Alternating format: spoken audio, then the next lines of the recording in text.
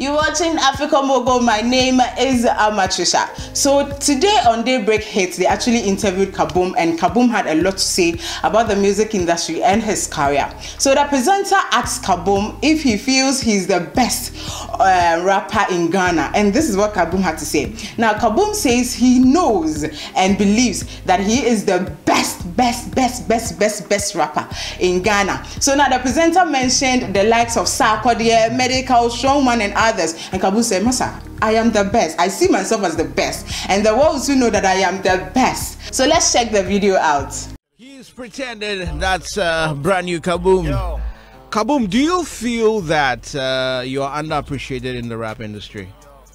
Um, hmm, for that one, there, for that one, there, it be hundred percent. You feel you're underappreciated. Yeah. Why do you feel so? Yeah, I don't know. I don't know. Sometimes I'm, I think about this thing. I'm like, Charlie, me didn't cry on my amount for.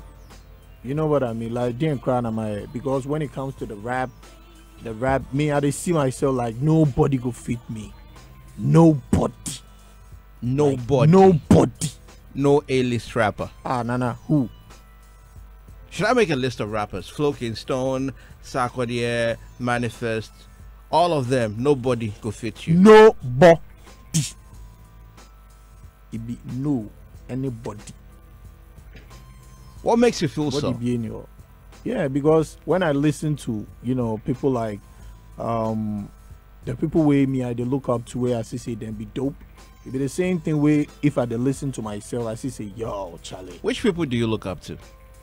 Okay, right now, right now I listen to this guy a lot, Joyner Lucas. Okay. Right now he's the new guy I listen to a lot. Mm. Yeah. Mm, mm. Um, before I used to listen to Eminem and uh, Royce the Five Nine Mm. and Kendrick, Okay. J Cole. Yeah, but right now. What about really- locally? Um, local, it be just Cherry Shimano, Charlie. You listen to yourself. Let's believe y'all. Okay, so you feel underappreciated in the industry, and you stated that nobody can rap better than you. Ah, What- what- I hope I say me can't with you. Nobody. What are those who are getting all the love doing right that you probably aren't doing? I mean that that's what me I keep asking myself like what sometimes I think about this thing I'm like hey yeah maybe somebody did somewhere where he just they sabotage me. You know what I mean? Because what do maybe they stand see me they see me they see me as maybe I be some threats or I be whatever. So yo Charlie make sure this guy no go come out. Yo eh, I don't know. I don't know. We Because always, we know. always complain about our, our industry not having the structures in place. Are we well structured for somebody to, to actually block your shine somewhere? Some people they do.